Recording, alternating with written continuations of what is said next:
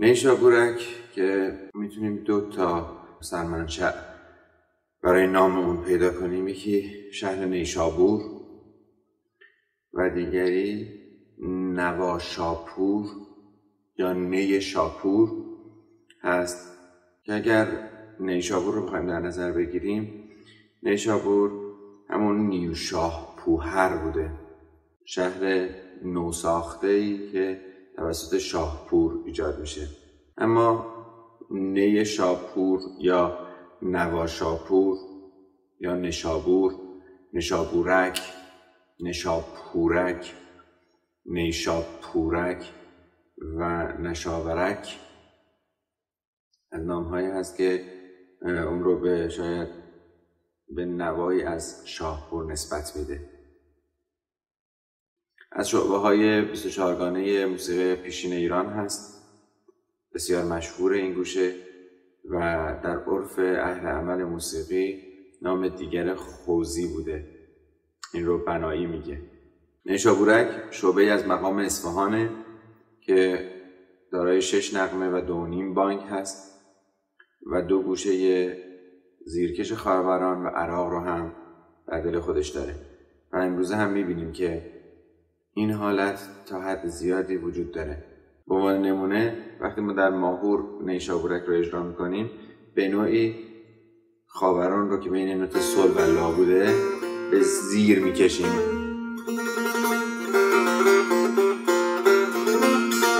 و پایین اجرا کنیم. از منطقه خاوران داریم به زیرتر حرکت می‌کنیم. زیرکش خاوران. و عراق هم باز در همین ناحیه قرار می‌گیره.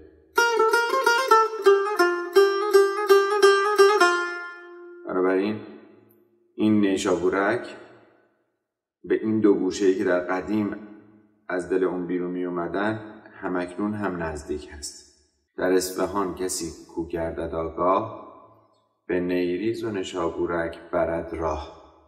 همچنین نشابورک سرکار یا نشابورک سارکار یکی از گوشه های شعبه دوگاه بوده. امروز اما نشابورک در دستگاه نوا و ماهور اجرا میشه. صاحب کتاب انجمن آرا می نویسه که نام نوایی است در, در, در, موسیقی و نام شعبه است از نوا که نوا شاپور نام دارد. تصنیف نشابورک از تصانیف قدیمی ساخته هادی دیلمی با این شعر آغاز می شده. مرا گفتی چون من یاری نداری تو همچون من گرفتاری نداری. چه دانی حال زار بیدلان را که بر دل داغ دلداری نداری؟ همچنین صلحی در ردیف خودش از نام نیشابورک متصل استفاده می‌کنه برای نیشابورک همون نیشابورک. نیشابورک در نوا از درجه اول آغاز میشه. یعنی اگر نوای دو رو در نظر بگیریم از دو آغاز میشه. و بعد روی درجه سوم که همون حالت سوم کوچک هست پرده نیم پرده. بین دو تا میبه فاصل است. شکل می‌گیره و بعد به فرود نوا میاد. به این شکل.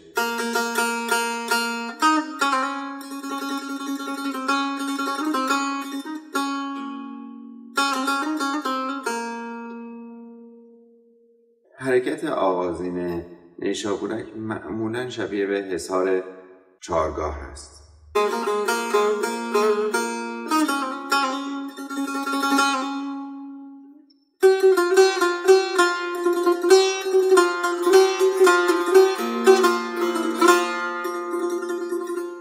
حصار چارگاه در مثلا نیشابورک میشه.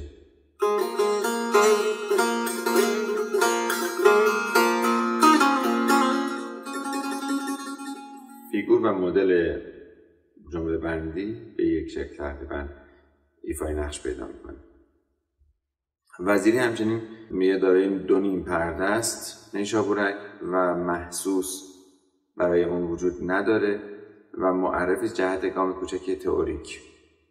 اما من با تحقیق در مورد این گوشه به این نتیجه رسیدم که ما در هر حال اگر یک فاصله تنینی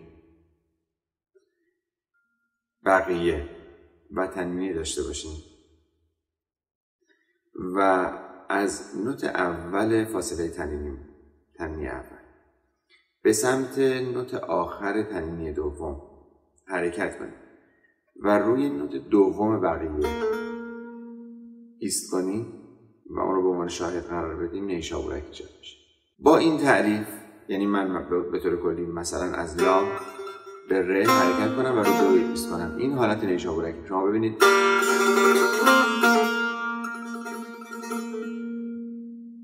حالا می‌تونم من اینا رو توسعه بدم. مثلا در ماهور لالا سولا سولا سولا با نوت قبل سول برم و بعد معمولا برم میگردیم در قسمت اول. در نوا هم همینطوره. از دو که ما می‌خوایم با عنوان نوت اصلیمون حرکت کنیم نوت اول فاصله بقیه اول چون ما در نوای دوره یه تنینی داریم یه نیم بقیه داریم دوره یه تنینی. حالا می‌تونیم از نوت قبل از نوت اول که همون دو باشه میشه سی شروع کنیم.